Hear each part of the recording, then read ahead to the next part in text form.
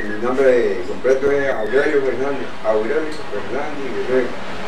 ¿Usted dónde nació? Aquí en este pueblo, aquí, aquí, en este, esta casita que está ahí, pero no es de ninguna que ya de Baré que va. Sí, pero diga. Pero ¿cómo entonces esto aquí era de mi abuelito y entonces esto le quedó a mi mamá. Entonces ya le quedó mi hermano mío, aquí quedó mi mamá y aquí. Yo me he quedado con esto aquí. Botón de Leiva, ¿no? Botón de leve, señor. Bueno, ¿usted cómo se inició en la música? Bueno, yo me inicié en la música de, esta, de esa calidad de música. Fue que de, de la casa de nosotros, uno, yo nací, me crié de la parte de abajo donde está, donde digo que venden la comida, y me entró los palitos. Ahí yo señor, y cuando yo era pues, como de 12 años, ya era como de tiempo. Se llamaba Andrés Amador, él tocaba eso. Lo que no tenía mucho repertorio, y tocaba por ahí. El son de las barotas originales que habían aquí y tocaba por ahí varios, varios porros tapados, y perillés. Esto tocaba así tonos modernos y tocaba puya como haga uno. Y esto se toca de todo lo que, todo lo que el ejecutante desarrolle. Pero aquí to- ha tocado la vallenato, corrido de, de ranchero. Pues con el mismo grupo tocamos eso, pero sin, sin guitarra, nosotros no tenemos guitarra que tenemos tocar tambores y la tambora, el guardia y la maraca. Y el mío, nosotros somos tenemos un grupo de seis. ¿Usted tiene tradición familiar de música? ¿Sus papás o sus abuelos Sí, eran mi músicos? abuelo era músico de flauta, flauta dulce, que tocan así. que. Mi abuelo y él quiso que yo aprendiera a tocar en la flauta. Tenía interés, pero yo no me gustaba, yo cogía la flauta y, y aprendía a ejecutar varios sones. Una flauta, pero no me gustaba era el nido de la flauta, muy, muy finito. Y a- entonces como mi abuelo tocaba esa flauta, yo me iba, arriba de él. Yo me iba para allá en esa época. Y se ponía a tocar. Y entonces yo, no que era en la sala con la puerta ya abierta, la puerta de la calle. Y pasaban los pescadores que pasaban por ahí a las 5 de la tarde y iban para el río. Y veían las flautas que tocando el roto, me veía que tocaba. Y me acuerdo que dije uno, una tarde, oye, yo pensaba interpretar me escogió ahí. Me escogió un gavilán. Y ese me escogió cuando va a llover la noche se pone muy Por donde hace y dos cambios. Entonces, esa palabra la oí yo. Después, a otra tarde, oí la misma palabra en otros pescadores, porque la gente pesca mucho el pescado. Entonces, ya quedan daños de pescar. Que para estar me cogió por ahí, esa, esa, esa palabra me dieron a mí, no, no me dejaron aprender a acabar de ejecutar bien. Me entendí con este, porque aquí señor que era vecino de mi papá. Y ahí era que yo, pues yo, él era señor que era como un señor. Él siempre no le hablaba a ninguno, esa- esos viejos, esos viejos tenían sangre de mentira.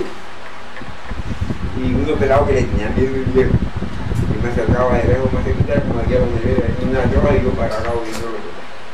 Y él nunca llegó a decirme nada hasta que un día me dijo, a ver, yo voy a ir a cuidar tu camino. Y yo, si que me enseñe, yo no te voy a coger los dedos, te voy a hacer un millo porque vos veis como yo. Aprender. Y yo doy interés, me que lo así. Cojo yo ese millo a darle y me hago esta como hacía. Desde aquí la primera noche, una. Y así, así me fui hasta que aprendí a tocar lo mismo, la misma melodía que tocaba, eran poquititos. Tenía poco repertorio, entonces aquí hubo un señor que se llamó, que se llamaba Eustacio Promesa. Ese sí tenía, tenía repertorio, así como perro campeón.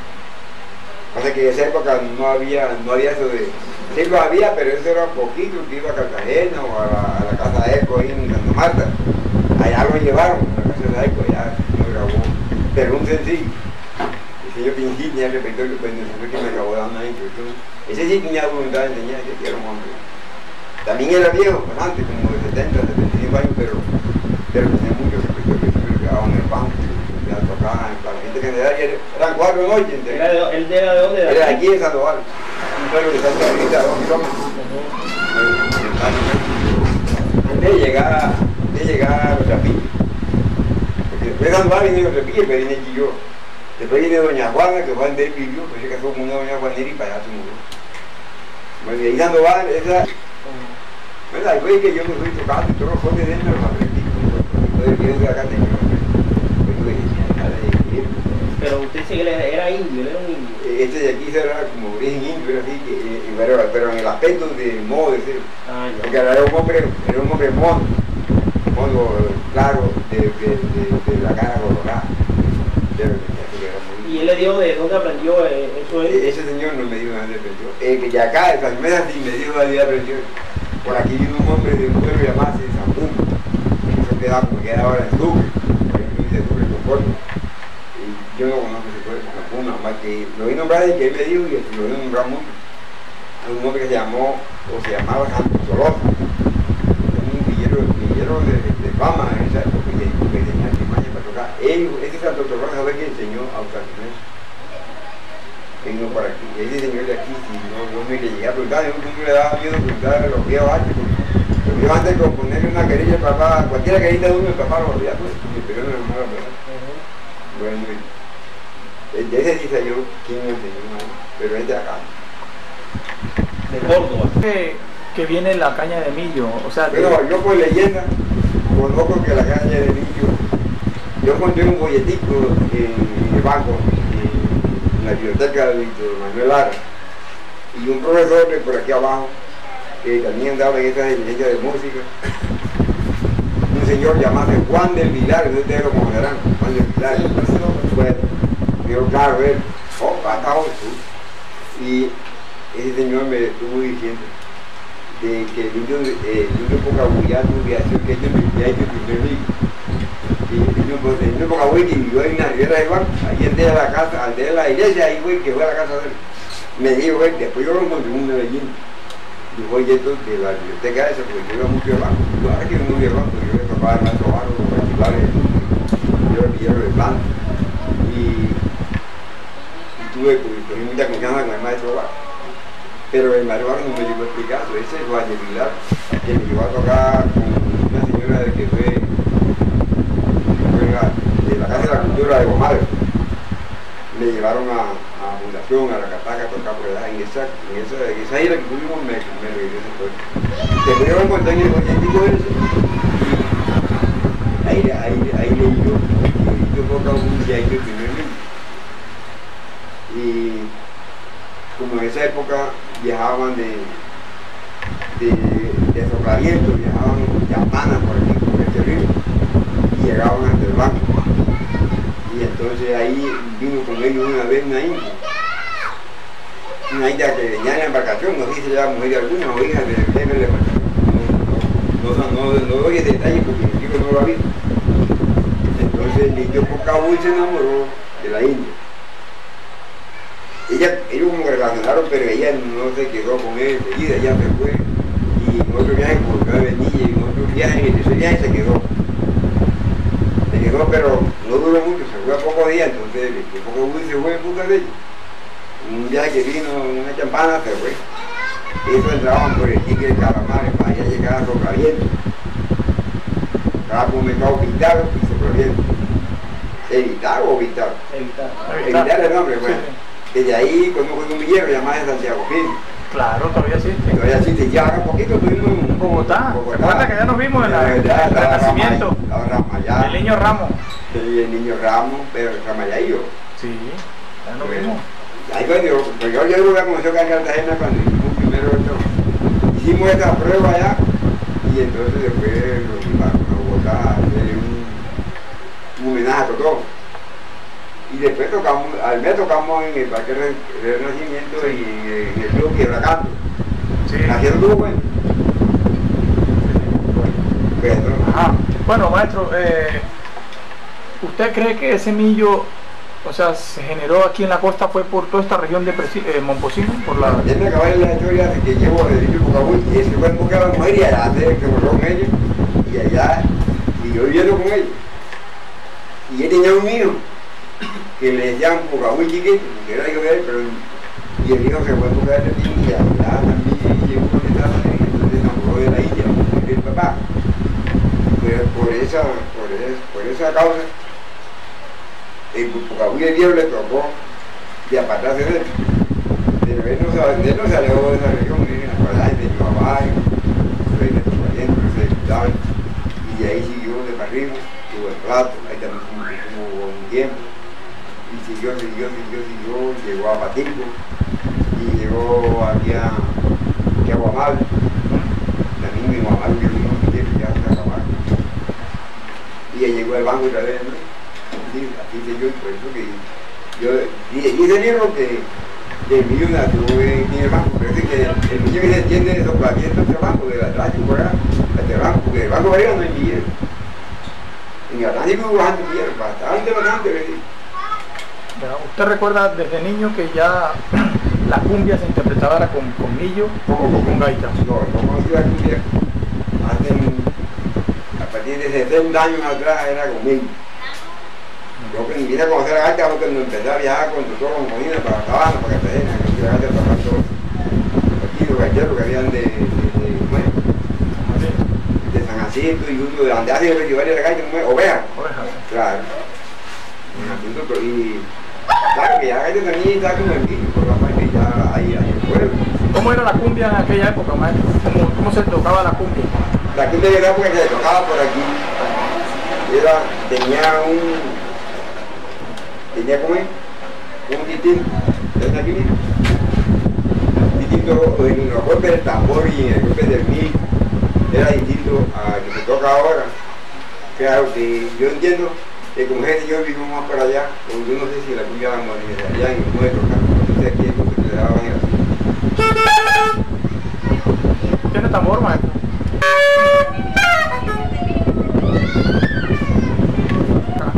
En. Este le llamo, este le llamo tambor repicador. Que hay uno más más más más más maestro, ni idea. Tambor mal. Y ahí el llamador que es un, un, una, un tamborcito chiquito. Una tamborina como el tambor que antes. O sea, a este tambor le dicen tambor repicador. Ese picador, ¿sí? porque ese es el que lleva. Desde que estaba usted pequeño, usted escuchaba ese término. Sí, señor. No escuchó por aquí currulao. El curulao, lo veo doblar, pero no, no sé qué. Yo entiendo que es un tambor, pero no sé qué punto para él. Alegre no sabe si le dicen. El tambor alegre y no sé si es el mismo curulao. Ya.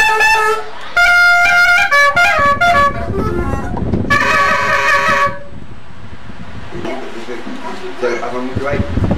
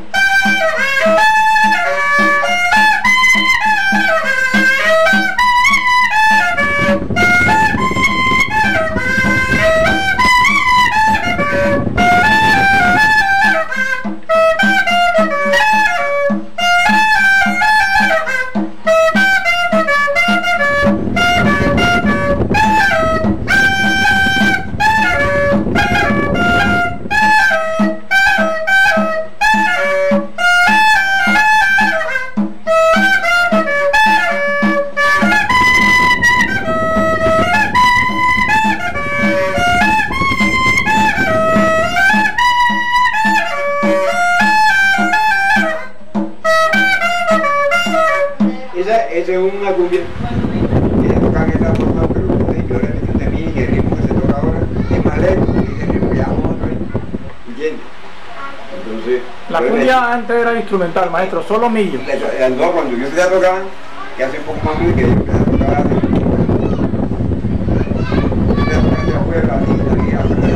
de la casa, aquí, del pueblo. Yo me tocaba de aquí, las saludas de aquí, ahí en Guamar. Pero la primera cumbia que yo toqué en Guamar fue en el 98, ¿no? Ya que no me tocaba regular por allá.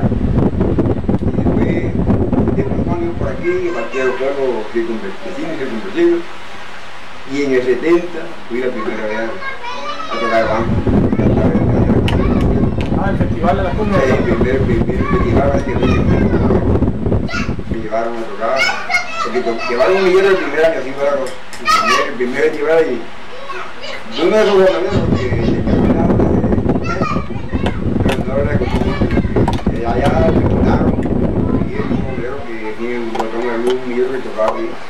Entonces me llevaron el año siguiente a mí y desde el 71 es que yo fui la primera vez, ¿no? Ahí seguí tocando mi banco hasta el 80. Ya del 80 sí, no fui más nada. En el 80 fue la última vez que celebró el banco los 300 años de fundado. Entonces de ahí sí no fui más porque ya, ya me retiraba yo.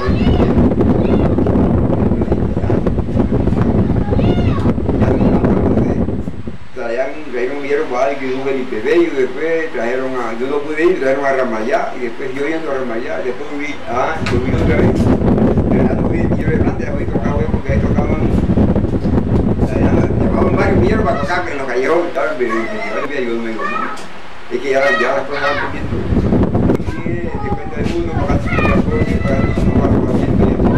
¿De cuándo se vinculó con las farotas de Talaigua? Uh, tengo. De saliendo voy a Barranquilla tengo 20 años. 20 carnavales. Maestro, Y 20 de fuera, fuera.